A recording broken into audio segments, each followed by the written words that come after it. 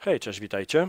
Mm, Kolejna, kolejny film z serii Łowcy Skarbów. W tym momencie y, kolega Michał XXX39 z naszego e, klanu numer 3, czyli z Winu 3, wysłał mi powtórkę na tym oto pięknym, ślicznym, ukochanym przez wielu 50, AMX-ie 50-100.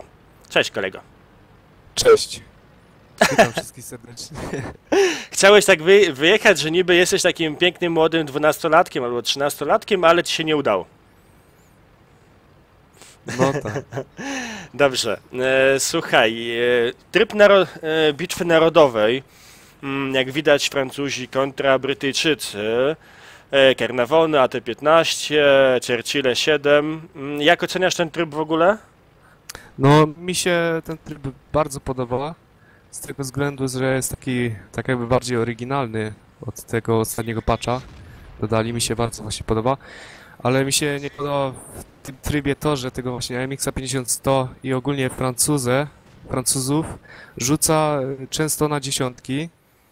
Takiego e, na dziesiątki i w tych dziesiątkach właśnie na przykład jak rzuci na Niemca Jezus Maria, kurde. No, no spokojnie. Znaczy, fakt faktem, jeżeli cię wrzuci na, na dziesiątki i masz przeciwko sobie e, na przykład e, E75, później set, e, wiesz, e, setki, no nie, coś takiego, no, jak to, no to y, Są jak pancery w drugiej drużynie i te ładne faki na batczaty to za dużo szans nie mamy. No dokładnie, momencie. wtedy, wtedy, e, wtedy już niestety jest duży problem.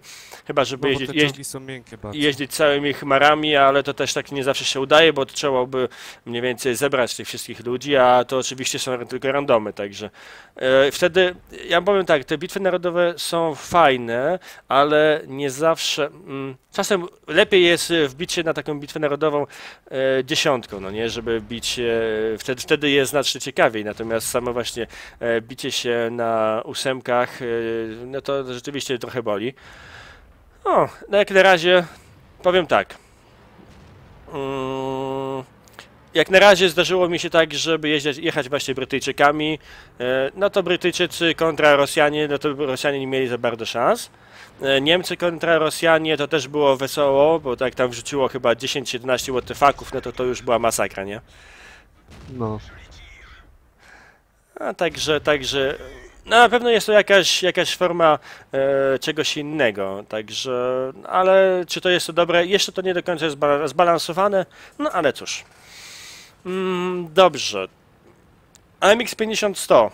Wiadomo, pierwszy magazynek w tej linii, e, która prowadzi do e, 50B. No. Pierwszy magazynek, znaczy zupełnie trzeba się przestawiać, jeśli chodzi o s- sposób e, gry, bo do tej pory mieliśmy tylko czołgi, które, mm, które miały zwykłe, e, zwykłe przeładowanie. Tutaj nagle miały tam e, 7-8 e, sekund, czy tam e, różnie to bywało. Tutaj nagle mamy e, przeskok na 6 pocisków, ale 47 e, sekund przeładowania. E, I to niektórych, nie, dla niektórych jest to niezły szok, nie? że trzeba, trzeba się uczyć w ogóle e, gry jakby od nowa. No tak, po pierwszych tam 20-30 bitwach już się bardziej da przyzwyczaić, ale mi się już tym AMX-em 50-100 y, bardziej się przyzwyczaiłem do tego przez to, że poszedłem bardziej w tą linię lekkich czołgów na początku. Mhm. Przeszedłem AMX-a 1390, Lorkę, doszedłem do Batchata. Bardzo miło wspominam te czołgi. No i jakoś tak poszło, że tymi już Francuzami, tym 50-100 udało mi się jakoś tak ogarniać bardziej Mhm. tą grę. No słuchaj, e, no prawda jest taka, masz 9000 bitew, jeżeli e, już jakiś tam, ja już właśnie przed chwileczką w poprzednim, poprzednim filmie, który kręciliśmy na 5020, już mówiłem to, że na pewno nie jest to linia dla osób początkujących, ponieważ mamy tutaj totalnie papierowe czołgi, mamy tutaj Owszem, czołgi, które mm, dużo potrafią, bo właśnie dzięki magazynkowi potrafią e, robić dużo damage. Tutaj mamy 6 strzałów w teorii. E, W teorii ten czołg jest w stanie zrobić około 1800 e, damage'u na magazynek i wyjeżdżając na jakąś inną ósemkę jestem w stanie zniszczyć, tak wiesz, na cały magazynek. No w praktyce to bywa różnie, nie? Także wiesz, tak widać 280 damage'u. Właśnie zauważyłem, że 286.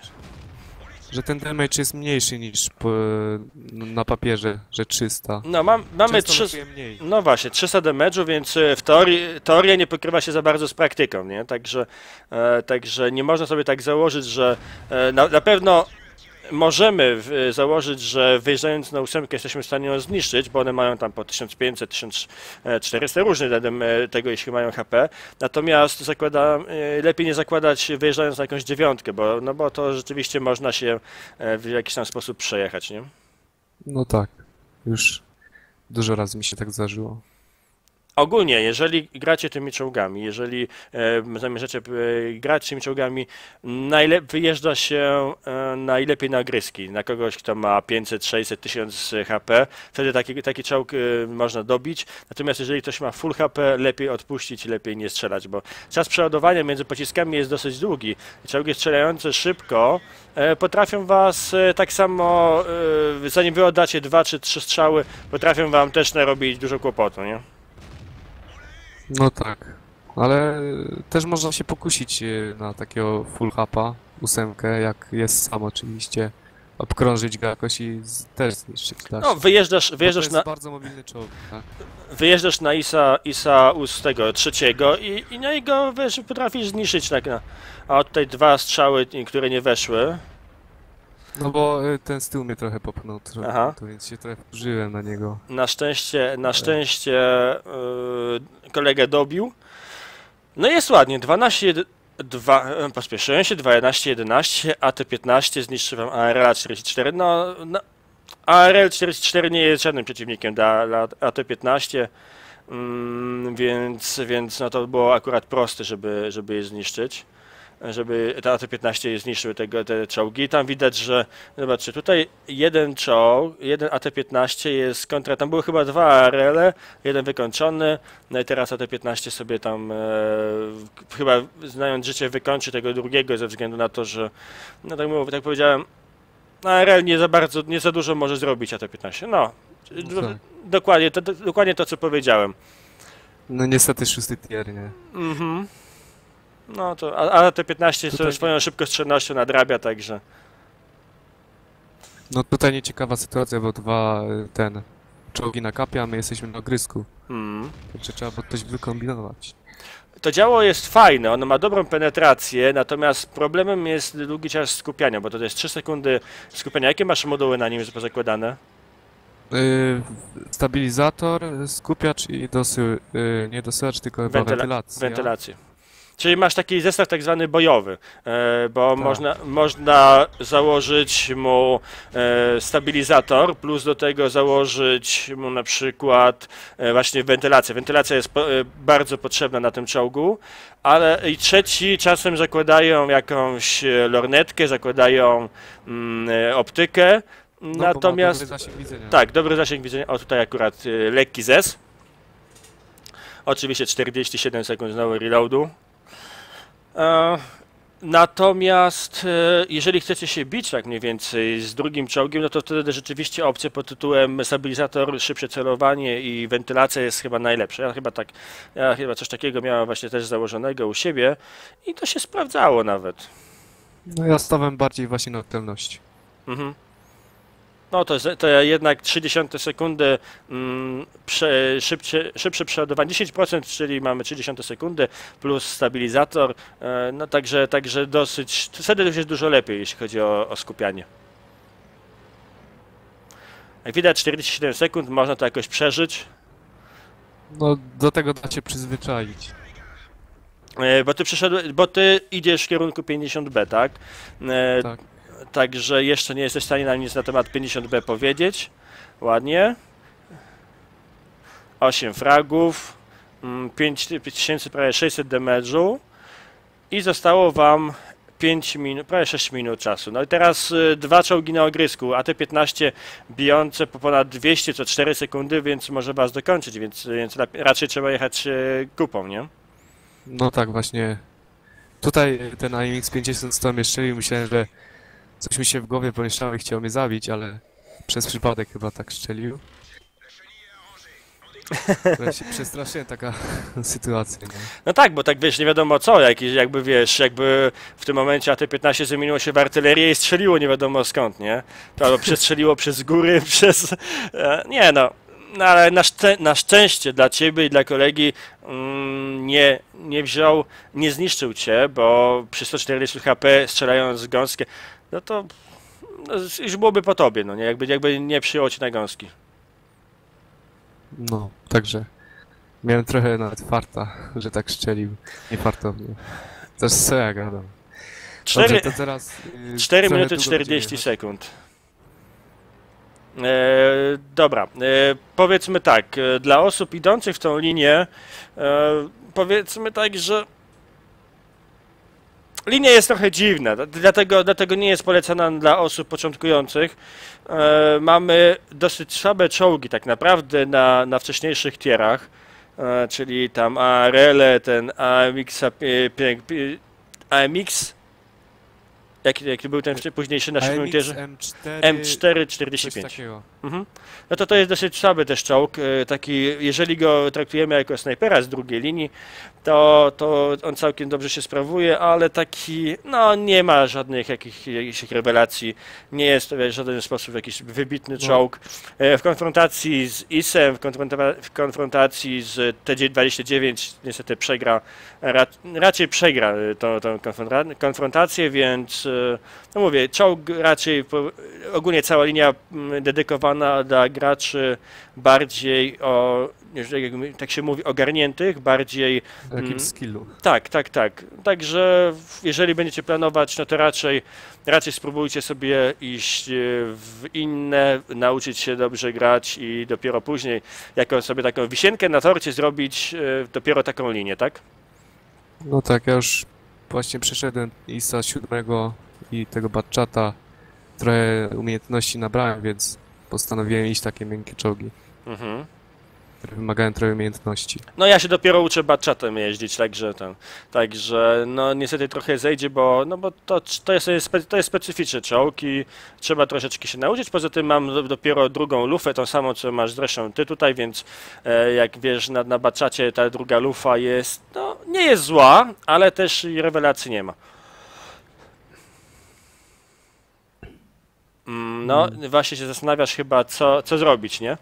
No chciałem e, obkrążyć naokoło, ale z, spojrzałem na czas i postanowiłem, że tutaj się zaczaję na tego AT-15 za górką i później powiem temu AMX-owi 50 że potował tego Mhm. AT-15, lecz niestety zginie. O, 7 HP, no to tam wiesz. E, sam podmuch tego pocisku go mógłby zniszczyć, no nie? Także, no niestety. A to był taki fuksiarski strzał, bo to tak dosyć ciężkie, żeby weszło. No ładnie. E, to działo jest, ma na papierze dobrą celność, ale z tą celnością bywa różnie, nie? No tak, potrafi polecieć pestka w kosmos niestety. No jak widać, e, dwa na dwa. Dwie, dwa przebicia, dwa, e, dwa jak, się mówi czasem Panu Bogu w, w okno. No i tutaj się właśnie zastanawiałem, co teraz wykombinować. No jest No po, postanowiłem, żeby podjechać tam do niego bliżej i jakoś tak go spróbować jakoś obkrążyć. Wiesz co można byłoby zrobić w takim przypadku? Tak naprawdę pojechać tutaj przy, e, przy samej skałce, dojechać do, do tego, wiesz, wjazdu na górę, wjechać na tą górę i spróbować go stamtąd, wiesz, e, w jakiś tam sposób e, zniszczyć. Objechać, można tam wjechać na górę, zjechać w dół i, i okrążyć, ale masz minutę czasu, No także tak, wiesz. Tylko, tylko No. że to nie będzie takie łatwe, jak ci się wydaje teraz. Zresztą sami zobaczymy. No, Za- zobaczymy zaraz, co to będzie. Na, mówię, ale to jest jedyny, jedyny sposób na to, żeby cokolwiek zrobić, no nie? Także. Tutaj jeszcze próbowałem jakoś tak kancik strzelić, ale nie udawało się. Hajek, hajeka się nie da założyć, bo y, Bo na, na, tym na tym czołgu się nie wozi hajeków. Y, Tu wozimy, jeżeli już, to zwykłe pepeki lub też golda, a hajeków przy tym czasie przeładowania tego się nie robi. Nie opłaca się. Mhm. Teraz zapomniałem, że mam golda i zapomniałem go przemienić na tego golda, to żebym przebił tego AT-15. Bitwa by była wygrana niestety. No to To jest, to, to jest problem, bo AT-15 jest o tyle niebezpiecznym przeciwnikiem, że ma rewelacyjny wychył i działa na boki. G- g- bo działa e, góra, dół, bo, także wychył na boki, więc tak naprawdę nic nie jesteś w stanie mu zrobić, bo, bo nawet on się nie bardzo musi obrócić. Widzisz, jakbyś wyjechał tutaj, no to rzeczywiście cię ściągnie, no nie? On się delikatnie cofnie i ściągnie cię na... E, wow, wow, normalnie... No, Niestety. Niestety. E, Fuchs, bo rzeczywiście ten czołg nie ma pancerza, tam jest chyba z 50 pancerza, jeżeli dobrze pamiętam. Nie, yy, 90 A nie, przepraszam, 80. dziewię- nie, 90 jest na przodzie, dobrze. Boki są w ogóle jakieś totalnie miękkie, więc to tam nie mamy o czym No, boki mówić. to już w ogóle papier totalny. Chyba 40 mm albo 30. Mhm, mhm, mhm. A jeżeli dobrze pamiętam, to 25 pancerza e, ma 50 bez boku. Tak, także wiesz, no to masz jeszcze, masz mniej więcej obraz tego, jak wygląda bok na, na, na 50B. No ale nadrabia za to e, niesamowitą wręcz żwawością, jak na, No, na dziesiątkę, jest. więc on, także jest to bardzo szybki, bardzo, no, ogólnie fajny czołg. Wow. Niestety remis. Remis, którego się nie dało uratować. Jakbyście, jakby tak w teorii mieć jeszcze jeden czołg, no to jeszcze by tam można było coś wykombinować, niestety. Albo jakbyś miał tak gdzieś z 500 HP, no to wtedy wiadomo, że było, raczej byś dobił tego, tego, No tego później no, no dokładnie. tak. Ale oznaka mistrzowska, dostałeś Spartanina, bo tam rzeczywiście na takim bardzo dużym igrysku byłeś, Radleya Waltersa, obrońcę, duży kaliber i, i specjalista. Mm, 6145 damage'u, 8 fragów, reszta drużyny, no nawet się nawet jakoś tak w miarę porozkładało. ARL oczywiście nie, za, nie za bardzo podziałały, no ale to, to są niskie tiery, więc y, raczej tutaj nie bardzo jest co zrobić. Ten AT-15 zagrał całą, całkiem przyzwoitą bitwę, 5 fragów, y, obronił im bazę. Mm, Co tutaj jeszcze? 1620 y, dostałeś potencjalnych strzałów, czyli całkiem dobrze jak na ten czołg, bo tak mówię, to on rzeczywiście jest papierowy, ale no, czasem się udaje coś tam odbić. No, 183 ale punkty. bardzo, bardzo rzadko. Mhm. 183 punkty obrony bazy, no to tu już ładnie, to już naprawdę e, sobie bardzo powalczyłeś. Jeszcze z podświetleniem masz 4,75 kg, e, tfu, kilometra, czyli najeździłeś się nieco nies- niesamowicie. Grasz bez premki? No jak y, bez premki gram, y, jak są jakieś eventy albo jak jest przecena na premkę tak dosyć duża, to sobie kupię.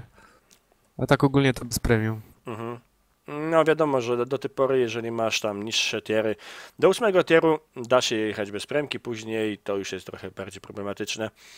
Zarobiłeś No, aż brakuje pieniążków. trochę. Dokładnie, zarobiłeś aż 13 ty- 13 tysięcy, e, także no masakra, nie, wie- chyba nie, nie wiesz, nie wiedziałeś co robić z tą kasą, nie?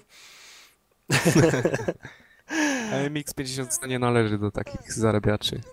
E, Warto. no nie. Zresztą widzieliście, że mm, to w teorii 300, 300 damage'u na strzał, czyli on tak gdzieś koło 360, 380 byłby, w, nie no, 300, no tak do 380 byłby w stanie e, strzelić, a, wy, a wchodziły strzały 250, 260, 270. Takie, no właśnie to jest bolesne czasem, nie? Wyjeżdżasz na, mag na magazynek, 6 Strzela- strzałów, i, a to wychodzi ci jakieś takie śmieszne, śmieszna suma, nie? No także no, mówiłem, że szczela tak poniżej tych 300 niestety. Jakby szczelał powyżej 30 tych 300, to był bardzo zadowolony. Mhm. Na szczęście, je- jeżeli sobie przejdziesz do 50-120, to mm, powiem tak, mi osobiście lepiej grało i w dalszym ciągu, znaczy jeszcze nie sprzedałem 50-120, ale y, możliwe, że założę na niego załogę, załogę jakąś, którą będę sobie tak delikatnie powoli podszkalał. Ale lepiej grało mi się właśnie 50-120, także ten czołg y, już później dużo więcej potrafi. Jak już założysz ostatnią lufę, to już zobaczysz, że naprawdę, naprawdę jest taki lekki, ko- lekko przekokszony y, czołg. Mm, Zresztą oglądasz sobie nawet poprzedni filmik, który wrzuciłem e, przed, jakby przed chwilą, to wtedy tam zobaczysz, co, co takie 50-120 potrafi. I, i, I jak zrobisz to, to wtedy rzeczywiście e, będziesz zadowolony z tego czołgu. Najbardziej się właśnie w nim boję tego przeładowania 3 sekundy pomiędzy pestkami. 3,3 sekundy, także no to trochę boli, ale jednak na magazynek 4 strzały po, po 400, mm, no i bardzo dobra penetracja, więc potrafi dużo. To by było na tyle w takim razie. E, Dzięki za pokazanie bitwy. Szkoda, że remis, bo byłby to jeszcze lepszy wynik. Chociaż zrobiłeś medale, więc tak jakbyś tak, tak zrobił, jakbyś wygrał, ale miałbyś jeszcze tę satysfakcję, że dokończyłeś dzieło i, i bitwa byłaby wygrana w normalnych warunkach. Niestety, no a te 15 jest trudnym Niestety przeciwnikiem. Zabrakło też czasu. Mhm. Jakby, Mógłbym no, jeszcze pozdrowić. tak, oczywiście. E, To chciałbym pozdrowić mojego kolegę z klasy Marcela, Hakuna i Kocioła.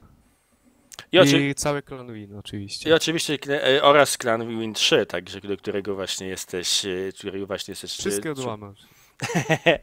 Jasne, dobra. Dzięki w takim razie, mam nadzieję, że Wam się to podobało. Kolejny czołg, którego do tej pory nie, nie chyba nie pokazywałem, ale całkiem dobra bitwa, z trochę, sporo medali, dobry damage. I o to wszyscy, w, tym, w tym wszystkim chodzi. To o to chodzi właśnie w łowcach skarbów. Dzięki Wam w takim razie i do usłyszenia. No dzięki, cześć.